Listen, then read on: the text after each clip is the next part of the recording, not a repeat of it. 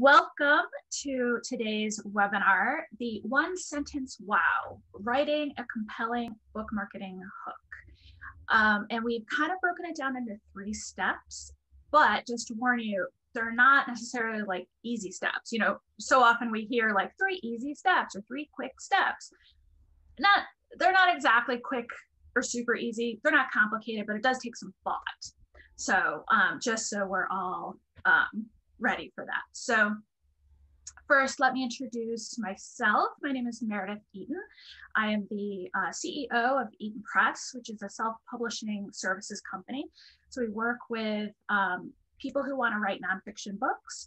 We help with the writing and the publishing and the production of those books. And I am I've joined up with Judy so that we could create Book Marketing Society as a way to then support clients through the process after the book is on sale through the marketing phase marathon. So then I'll let Judy introduce yourself.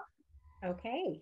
Uh, Judy Baker, the Badass Book Marketing Mentor, and I am an author as well as a book mentor. And that means I help you turn on your true fans.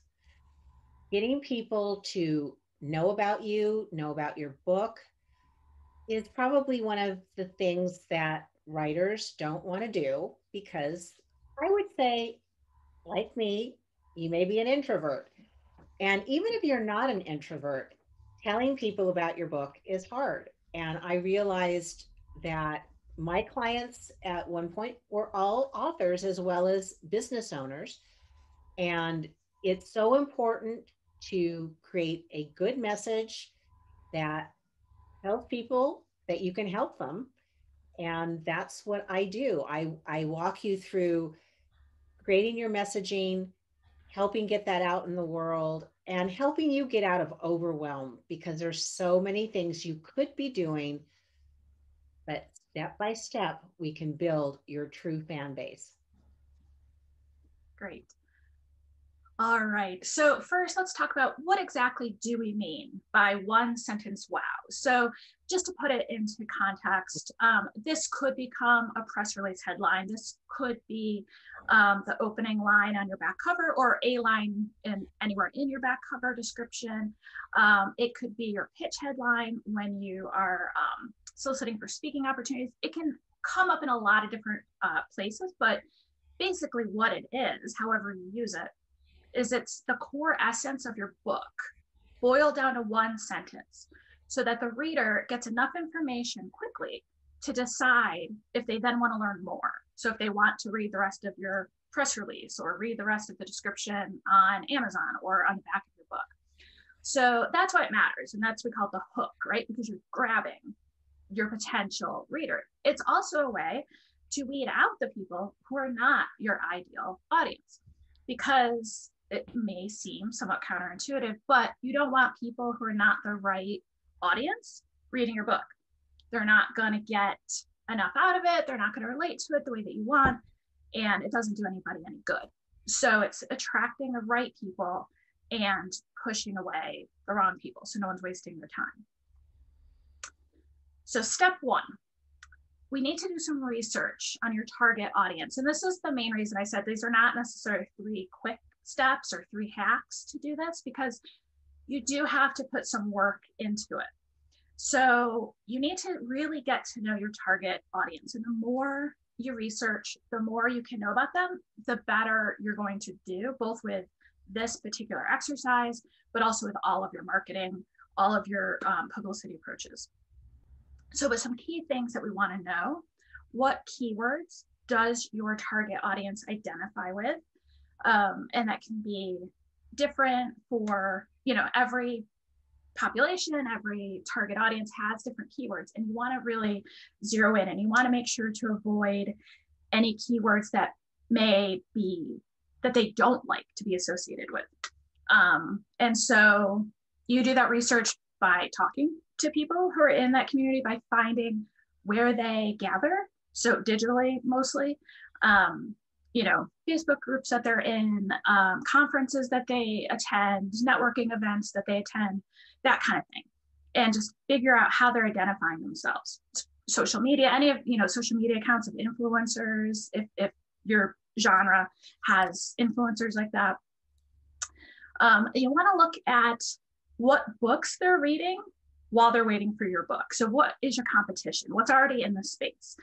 And the easiest way to do that, go to Amazon, pretend you are your target reader, and type in what you would type in to, to find your topic and see what comes up. And then take a sampling of those books that comes up and look at the reviews. So see what people are saying. You know, you want to find some that have a lot of reviews and some that have um, less reviews, some that are, you know, super popular and some that are maybe a little less popular just because sometimes the super popular ones get overrun with um, uh, positive reviews that aren't necessarily super legitimate. If they have like 7,000 reviews, it can get lost in there. So you want to get a good sampling and you want to look through and you want to look for trends in the reviews. So something that most people are saying they really like about the book. So, you know, might be like, really like the uh, exercises at the end of every chapter, or I really like the real world examples.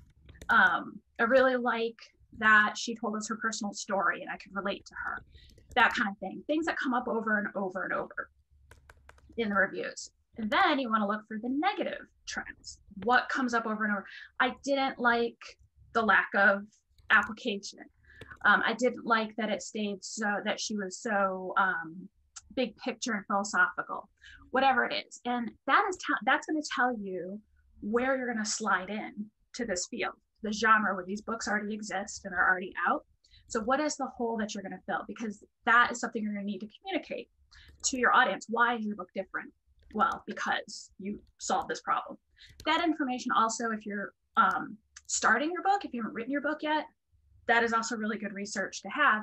And that can help you plan your book as well to make sure that you're targeting right in to what is needed in your genre and by your audience. And then what is it that you're doing that's different? What problem are you solving that hasn't already been solved? Or what new way of solving a problem do you have? Or what new philosophy, perspective, you know, any of that kind of thing that is different? What is it that you're doing that's different? And so, depending on how well you know your genre and your audience, and depending on how big your audience is, you may be able to get all these answers with a little bit of research. You may have to do a whole lot of research. So it just depends. But you'll kind of have a sense of when you have a good feeling you've gotten enough research to move forward. So after we have done the research, step two is we write a long blurb. So we refer to this as the back cover description if you've already written your book, don't worry about it. It doesn't have to be your back cover. It's just an easy way to talk about it because everyone kind of knows what the back cover is. So we're starting out by writing a long thing. And here's a little formula that I use with my clients for writing that back cover, that big marketing blurb. So first you're going to answer the question, who is this book for? Which brings in those keywords. What keywords will your audience identify with? You want to use those and you write this out one to two sentences. What does this book do for them? Alternatively, how does this book solve their problem? Or what new or different, what is new or different in your book compared to your competitors' books? And just write about two, four sentences ish on that. If you want to write more, you can. I find it's always easier to pare down than beef up. So you can start this process as just a brain dump and then you know keep refining it and working backwards whatever works for you. And then finally why are you the person that they should trust to provide this information? Or alternative why is this book the book that will solve their problem? And try to answer that in one to three sentences. And now you can answer those questions very directly. And then if you did want to use this as a long you know back cover or a full blurb for Amazon or press release, then we can go back and dress it up and put some more you know, marketing language in and some prettier um, sensory words and that kind of stuff, more descriptive words. But if you're really just getting to this one sentence, then you can just focus on answering these questions directly. So then step three, now we're going to back it up. We're going to um, start paring it down. So the first thing is what is your book really about?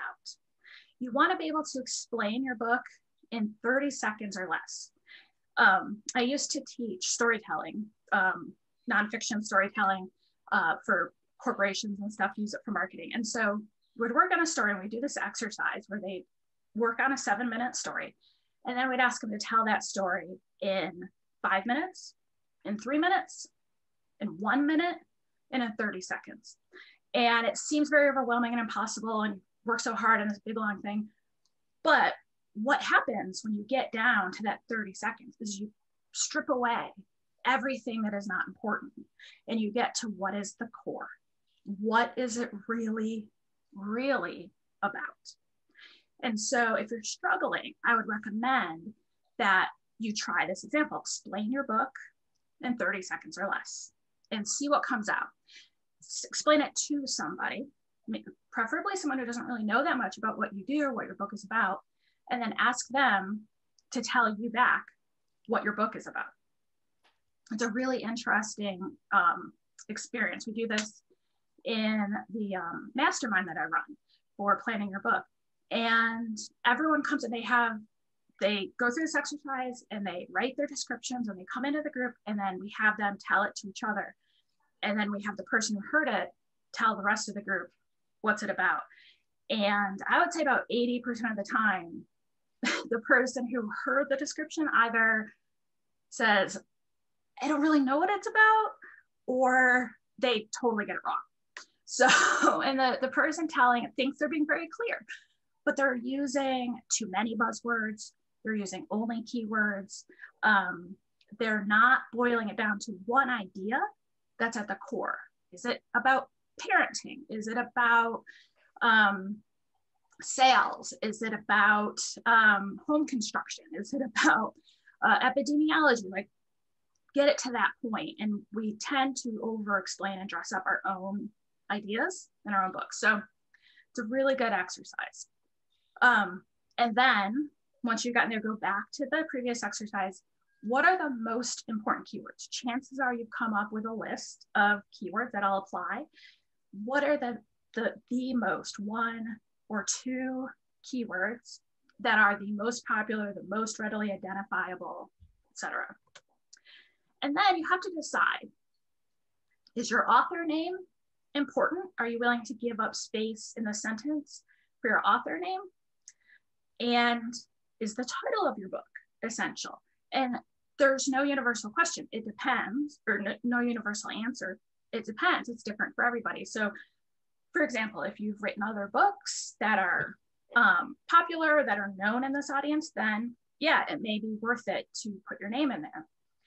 If your title is made up of these high priority keywords, if the title is part of giving the essence, then yeah, it might make sense to use the um, title as part of your sentence. The other thing, and I'll show some examples in a second, but the other thing is this doesn't have to be our classic, you know, perfect grammar tight little short sentence. This can be a long sentence, it can be a three line sentence. So there's there's no rule about that, but it can't go on forever. So you do have to make some choices of, of what goes into it. Um, do we have questions?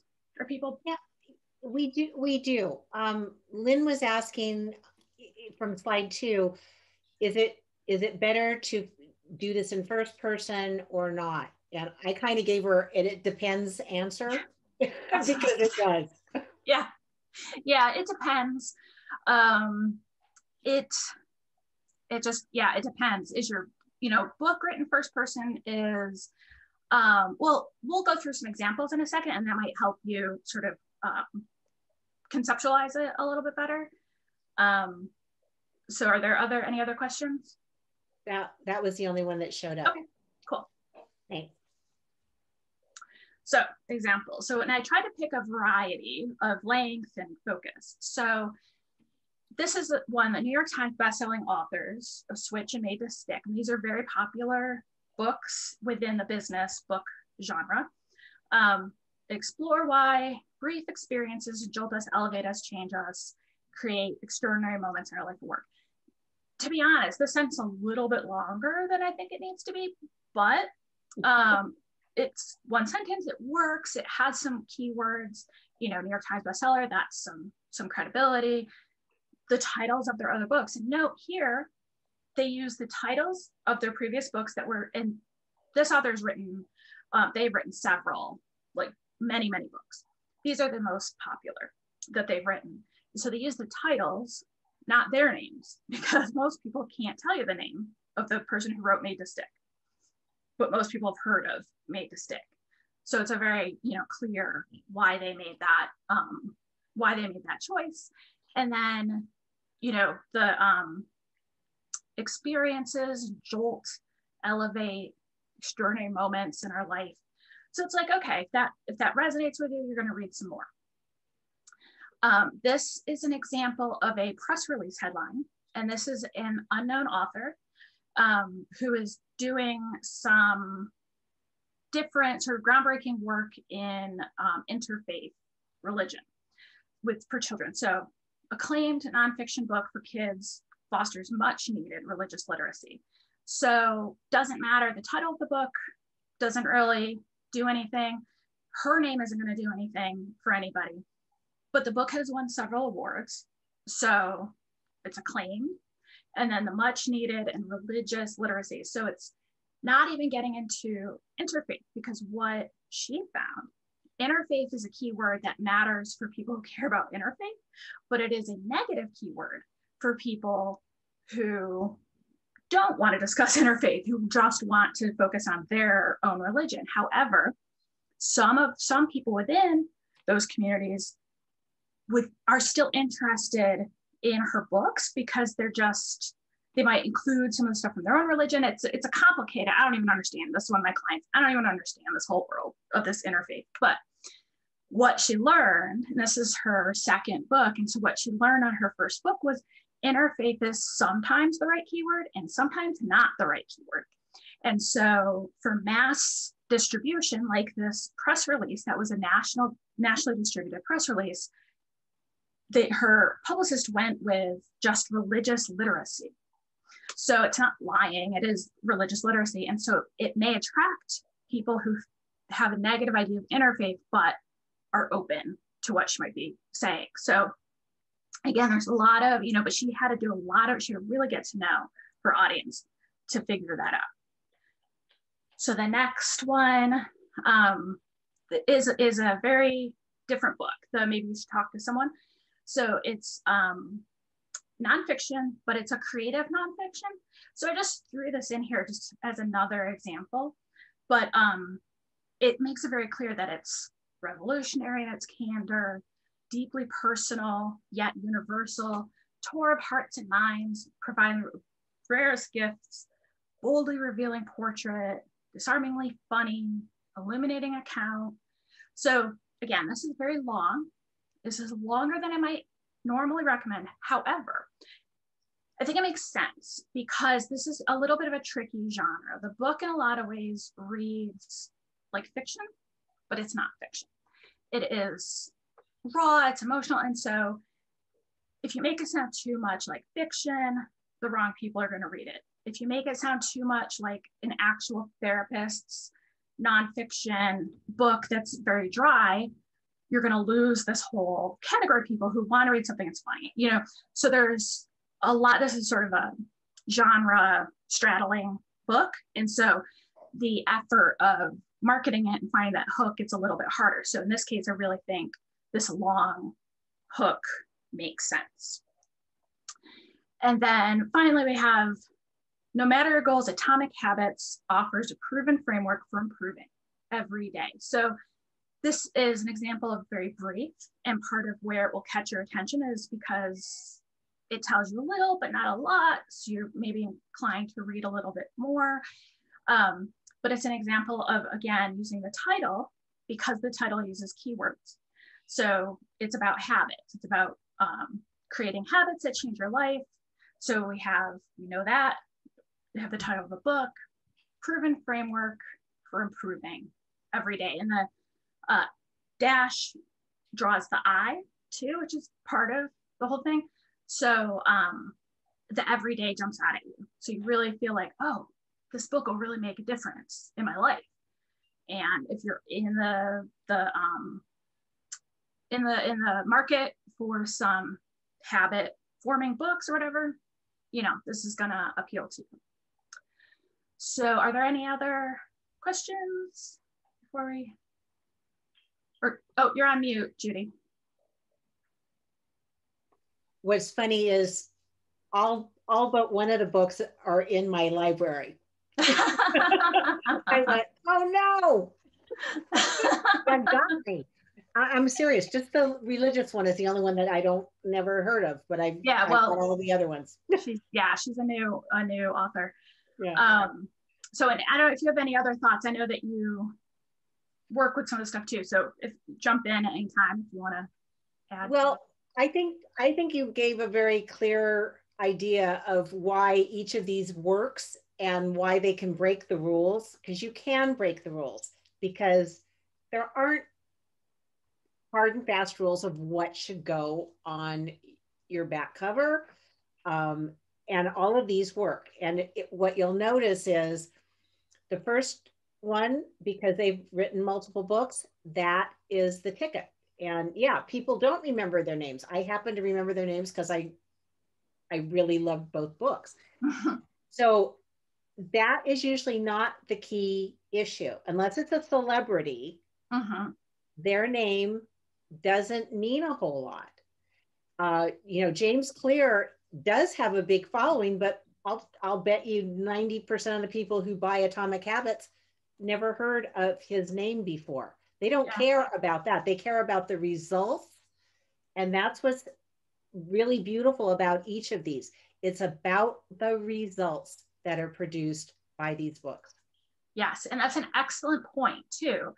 Uh, that the people don't care about the name, they care about the results. And I get that a lot from first time authors and people who are self publishing, and they think, is anyone going to care if I have a name that no one knows and I'm self published? Like, will that remove all legitimacy, all credibility? And the answer is always no, because people don't, most people don't even know if a book is self published. I do a, a exercise sometimes where I have people go on Amazon and find me show me a book and show me how you know it's self-published and most of the time you can't.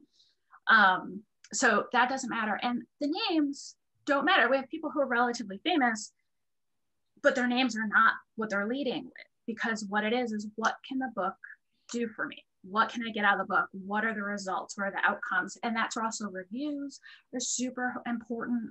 Um, getting people to review your books is is more um, is a better social currency and legitimacy than having a name that people know. Even having awards on books is great, but it is not a deal breaker if you don't have awards. Like it really is about, especially with nonfiction, it really is about what you deliver. If you deliver on your promise for the book, then people don't care who wrote it and they don't care how it got to them, whether it was by a publisher or not. So now we're going to do a practice um, because it's often easier to see clearly other people's books than it is to, or, you know, descriptions than it is to see your own.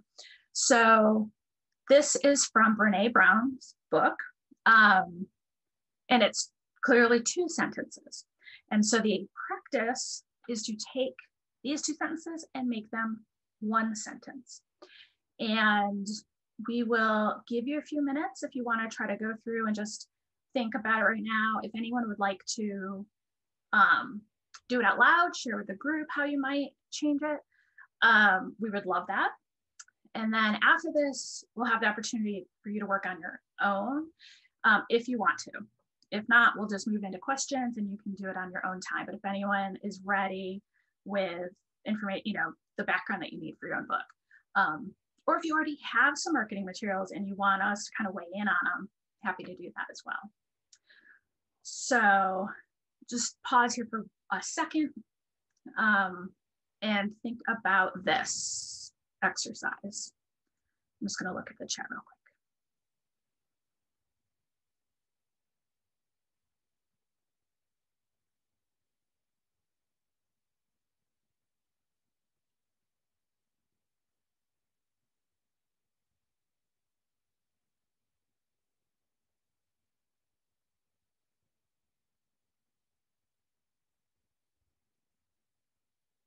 All right. So, um, does anybody want to share their thoughts on how I might rewrite the sentence? If not, it's fine and we'll move on. But I can give it a go.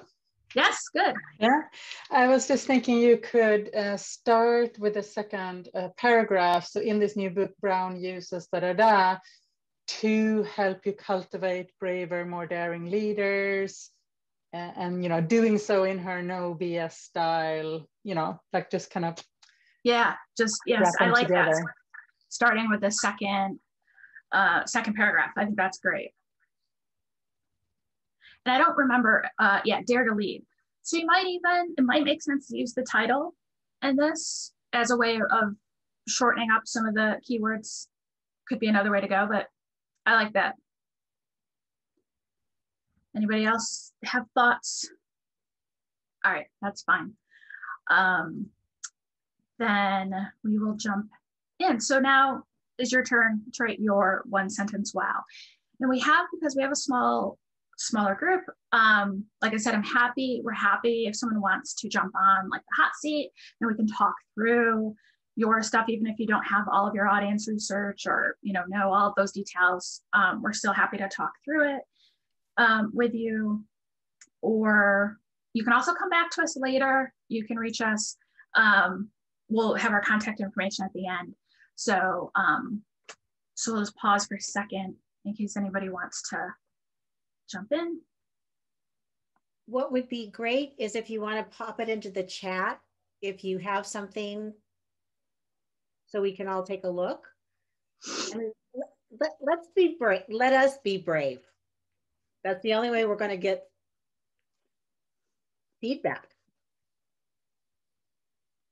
Oh, okay, Lynn, you've got a good point. You don't have a title for your book yet. What's the subject matter? Um, I wrote a book about um, my mom, uh, mainly my mom and our cancer journey together. Right. Yeah.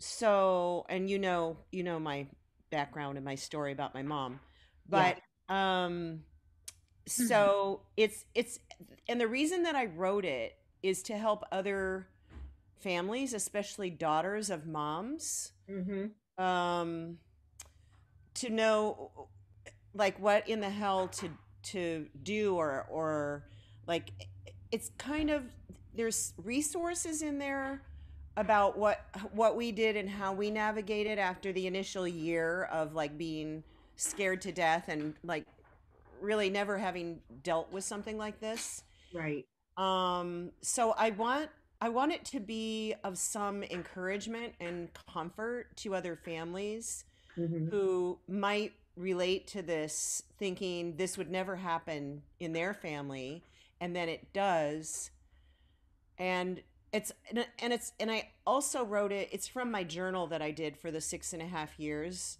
um, Yeah. Of her journey Mhm. so I took excerpts from my journal and put them in. So there's there's some really funny parts too that I think Yeah. people would relate to it if they've ever gone through cancer in their family. Um and they would also find I think comfort in that I could actually make jokes out of something that was so horrifying and terrible, but it was you know, we actually found a lot of funny moments and Yeah. so I don't really know. uh, I haven't done the keyword research yet for, um, and I'm a marketer too, as Judy Right. knows. Um, Right. But it's different when you're marketing your own stuff, obviously. Yes, very much so.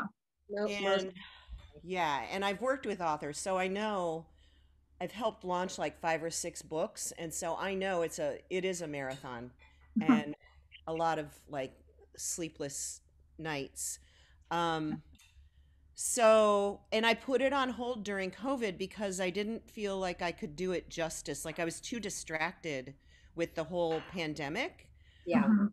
And so I might actually append the book a little bit. I might actually add, like, maybe towards the end, I'll add something about that, about, you know, not publishing the book as soon as I had originally intended. So there you have it. I, I have no title. I've got about 300 photographs because I want the photos to, I want the photos to also tell the story. Uh huh.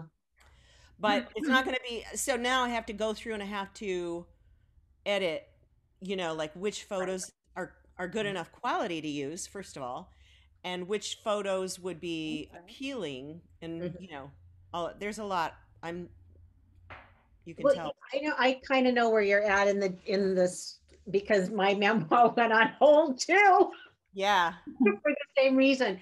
Um, why don't you and I talk afterwards? Because I've got some ideas and I think what I was hearing, and I think you and I both have a similarity in our approach. Hmm. It's not about the, oh my God, this is a horrible Yeah. diagnosis. It's about the relationships and how you navigated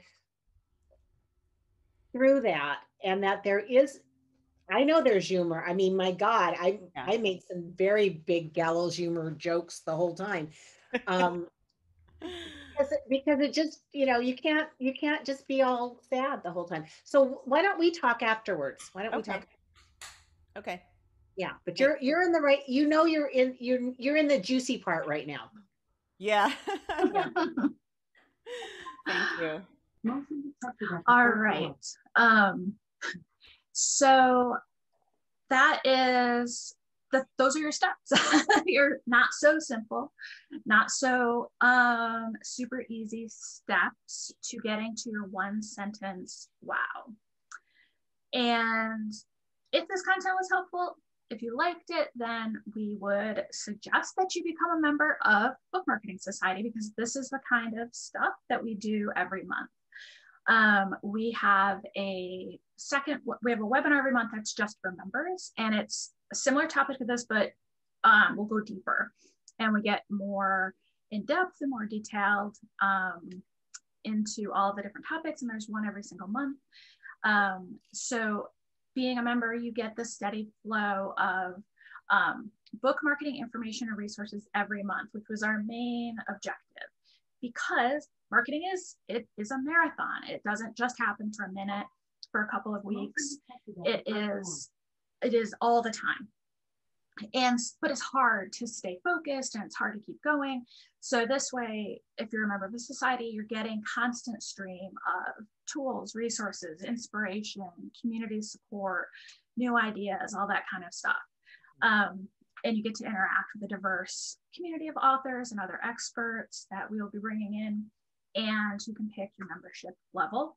So we have three options. Um, emerging author for people who maybe don't have as many have or haven't written your book yet, you're starting out. Evolving author and eminent author. And what you get for your membership increases with every with each level, including at the evolving and eminent, you get time one-on-one with me and Judy. So you get um, either 30 minutes or 60 minutes with each of us independently. So double um, access, as well as a variety of other things um, that I won't go through and read all of it right now because you can read it. You can also go to bookmarketingsociety.com to see all the information um, on the website and to sign up. So that is our presentation, but we will stay here. We'll take questions for as long as you want, for as many questions as you have. Um, and here's how you can reach us. Feel free to reach out anytime if you have any questions about this presentation, about anything else. Um, and if you go to bookmarketingsociety.com, you will see a button towards the bottom with the schedule of all of our webinars. So we have a free webinar every month, um, already scheduled for the rest of the year. You'll also see the topics that are the member only webinars, so you can get a sense of that. Um, we also will have a lot of other, we have a template that you'll get every month. We have other tradings resources, all kinds of stuff um, that are available to um, society members. So we'll stop there and we'll switch to questions. Yeah, why don't we, Um, um, want to do, um, want to go to gallery view so we can see each other? Yes, I will stop sharing. Thank Um, you so much. I've got to get back to work, but thank you very much. And Judy, you and I will touch base. Oh, great, Lynn, that would be fabulous. Thank you. Take care. Thank you. Bye bye. Bye. Um, for you know, I know some of you have published already, and maybe you're getting the response you want, or maybe you've got another book in the hopper. What kinds of things are working for you all, and what you know, how how are you using your book hook? That'd be that'd be great to hear from you all. Yeah. Motion detected at the front door.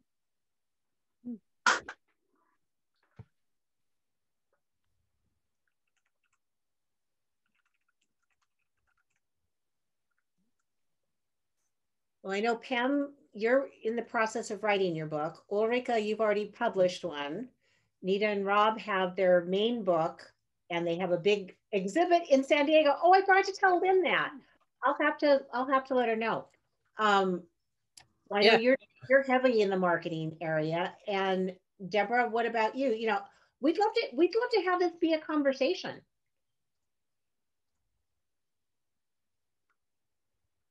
Where's Deborah? Great. I I had muted myself because, like I said, I'm sitting out on my patio and my dog started barking. So uh, you may hear some commentary in the background. Uh, yeah, I have published my book and um,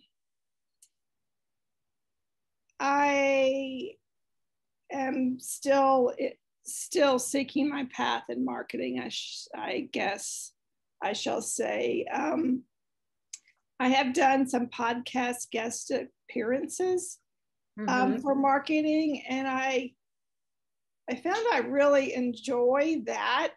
Um, I like talking to people, and um, I guess it's not a surprise that anyone who does a podcast probably likes to talk and is a good conversationalist.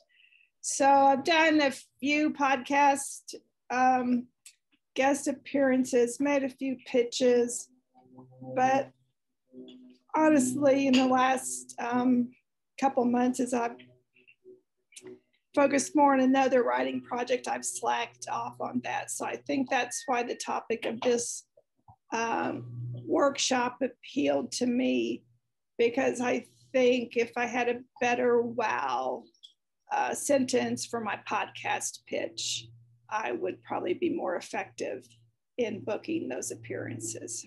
So, uh, and there's my dog barking. He agrees. Great. And someone just walked by. So, um, yeah, we'll see. Maybe he'll calm down. Anyway, so yeah, I think, uh, I'm sorry, he got real close now. Anyway, I'll stop there until he. Well, I think you're you're absolutely right. When when you can start that conversation and you get people to go, you know, light up and they're engaged with what you said, then they'll ask you more questions. And that's really the that's what marketing is about. It's about getting people's attention and then, you know, seeing where it goes from there. Um, Ulrika, how are how are you doing with your book? Well, the book that I, I did publish, I was really just a small chapter in a uh, an anthology. Is that what it's called? Anthology. Anthology. Okay. So anyway, that one I feel like I'm I'm not working on marketing that. It was just a dipping the toe into the whole thing and be part of something. But now I'm writing my own book, and um, I um, I mean I see how this uh, like a hook or getting it really concise would be super useful. And I mean, you know, Judy, it's, my book is about time management, and it's about really a soulful, sort of organic approach to time management. And I like to say that I- I'm the time management coach who does not believe you can manage time. Uh, so I introduce some other ways that you can manage other things that help you uh, experience time as uh, meaningful and rich. Right. And I, I think because you because you focus so much um, in the past couple of years on honing your skills as a speaker, this is kind of a translation of those skills into how you do the same thing on with your book. Because you know people will show up to a, a talk when the title is like, oh my goodness, what's going on there? And the same thing applies with your book. Exactly. And Pam, where where are you in the process? Because we haven't talked in a while. Uh, yeah, that's because I've been so overwhelmed. I'm a, for those of you who don't know, uh, which most of you don't, I am a special ed preschool teacher who has been spending incredibly long hours this year trying to make education work. And I'm going back to the classroom in two weeks, so a week and a half with some amazing restrictions. So I haven't really done a whole lot. Uh, I'm illustrating the book as well as writing it. It's a children's book, so it's a little different from what most of you are doing. The interesting thing is that when I started it, I thought I was just doing an alphabet book for children. And then somebody uh, at uh, the writers, Redwood Writers, when I was explaining the book, she said, This is not an alphabet book. She said, This is a nonfiction book for children. And it is because it's poetry that has um, some information in it, but it's fun. And then there are fun facts at the bottom of the book and then the illustrations. So I've been sitting here while we're talking, also sort of doodling over here on, you know, that one line hook. And it's it's it's hard because you know, it started like I said as an alphabet book, but it really now the alphabet is merely just something to kind of shape the book. There's mm-hmm. 26 mm-hmm. animals. And um you know, it really could be a book for a wide range. And usually for children's books, they tell you, well, is it for three to five year olds? Is it for six to eight year olds?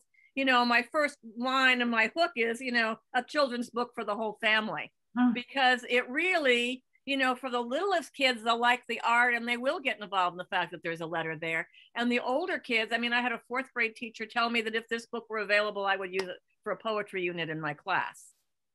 Oh, wow. Right. Because each of the descriptions, Pam is a, is a very gifted painter and illustrator.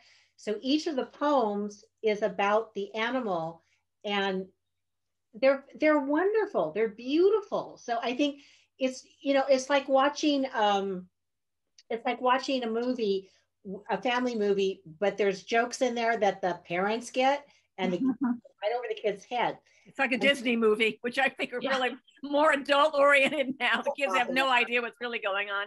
But yeah, I um, you know, I'm at the point now. I've got the illustrations done up through S for sloth, and uh, the illustrations just take a lot of time. Um, I realized at one point I thought I really wanted to illustrate children's books, and I went, "No, I don't." you know, I would have to be a lot faster than I am to make a living as an illustrator of children's books. And there's a huge difference between being a fine artist and I and I don't mean that you're better than it, just fine art versus illustration, uh-huh. because I'm a huge admirer of illustration, and it's a real it's a real art in itself, and it's different. You know, uh-huh. I feel very confident illustrating this book, but I have a lot of other children's books where I'm going, you know what? I don't think you should be the one to illustrate that one. Yeah, I hear you.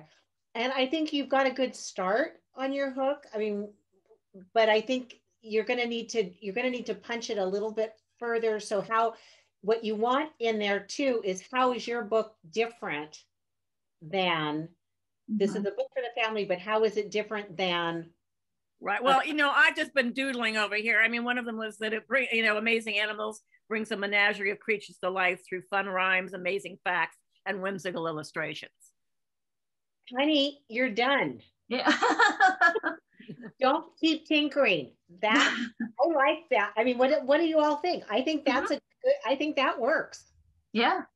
Do you want me to take out the thing about a you know a, a children's book for the whole family because it addresses children and the fact that it's got a wide age age group. It's the lead into. Maybe that could go later because the other part is what's really critical. It's it, it's introducing kids to really to nature and to science and to poetry and they won't even realize that they're getting introduced to all of those things in one. So i mean there's so many ways you could use the book. And well, yeah yeah if i said amazing animals brings uh, a life of uh, what did i say? Uh, brings to life a menagerie of animals uh, through fun rhymes amazing facts and whimsical illustrations and then whatever that line is a fun book or something you know a children's right. book for the whole family mm-hmm. right yeah, I think you want to make sure. I think one of the key words is if it's um, poetry, you know, making sure that the it's clear it checks all those boxes because I Right. think for a lot of parents that they're going to focus either you know the poetry will jump out at them or the illustrations or the alphabet. Well, do I need to say poetry specifically or is rhyme okay? I it depends. I don't know the content, so I think sometimes poetry puts, you know, parents like to rhyme with their kids, but I think poetry makes it sound a little more, uh, you know, intellectual. I, that's why I sort of wanted to stick to just rhymes, you know. yeah that that's fine that would be one of those where i would say do a little bit of research just to Yeah. check because you might hit on something if there is this huge dearth of if everyone's clamoring for introducing their kids to poetry and that becomes a keyword that maybe has shifted Yeah. over time and now it's seen as like a value or if it still is like oh that's too esoteric and rhyming is fine It, it's really interesting because in children's literature, you know, all the editors would tell you, oh, we don't want anything that rhymes. And then you look at the children's classics and e- even what's selling now, mm-hmm. a great deal of it is rhyming. What they're really saying is we don't want any bad rhyme. Right. There's so much of that. Exactly. Or silly rhymes, gratuitous rhymes, you know, where it's like Right, not saying know. anything, it's simply rhyming. I think that's, and that was where I was not, you know, thinking poetry over rhyming because I think there is a lot of pandering in children's literature Right. where it's, it may rhyme, but it's not poetry. You know what I mean? Like Right. Yeah. All it is is rhyming. There's no there's no substance to it. So if you provide a substance and it's actually educational and it rhymes, Right. if there's a way to kind of communicate that. But again, that's where doing some research and checking in with your target reader and see what words resonate with them and Right. what. Well, each yeah. rhyme has something educational in it, but it's usually a little twist or it's a little bit clever or it's funny. Yeah. Yeah. I just can, do you want me to add something? So Yeah, Pamela, please. when you share that, I just think this is like a beautiful like invitation to come and play, you know, through playing with words and illustrations. And Mhm. also this like kind of there's like the multi-layeredness of it just seems really intriguing, both in the all age groups and the different, if you want to enter through poetry or enter through the letter, like there's all invitation, just kind of I kind of like that. Somehow I could work in an invitation to play. Yeah. Right. Yeah. I really like that. Yeah. I, I, I think you're definitely onto it. And uh, Nita and Rob, I mean, you've had you've had very good engagement as you've as you've been selling the book over this past year. What do you think was um, you know, how did you craft that? Because I know you worked on it for a long time. Um, well, we worked with some some wordsmiths as well who helped us write the inside cover. Um, we,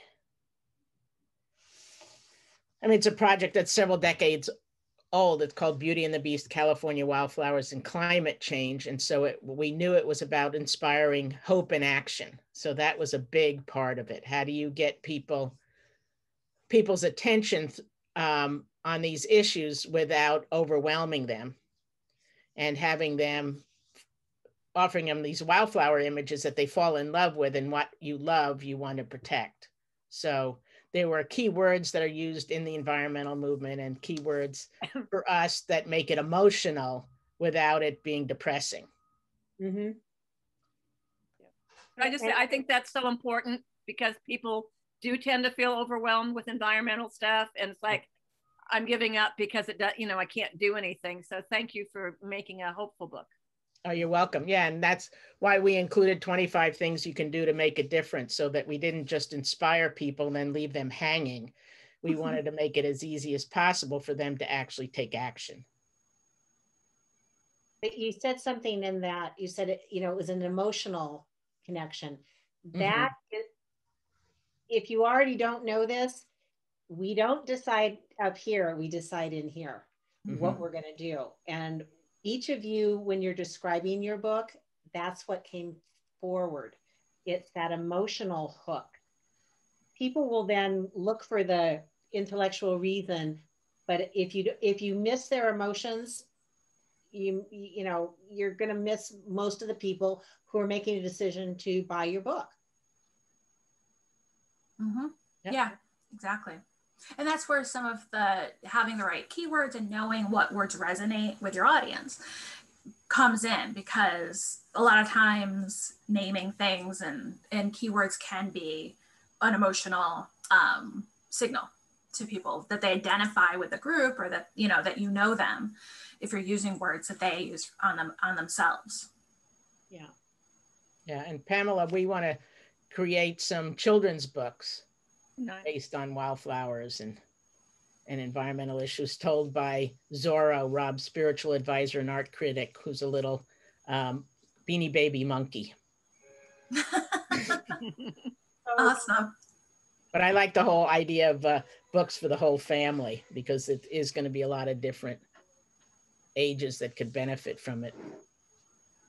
Yeah, you and I can break the mold on that. Absolutely. yeah i love that